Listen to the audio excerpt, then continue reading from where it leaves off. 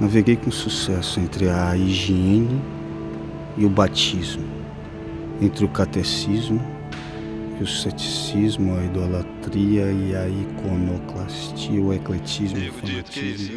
Benedito João Santos Silva Beleléu, vulgo Nego Dito, Nego Dito Cascavel.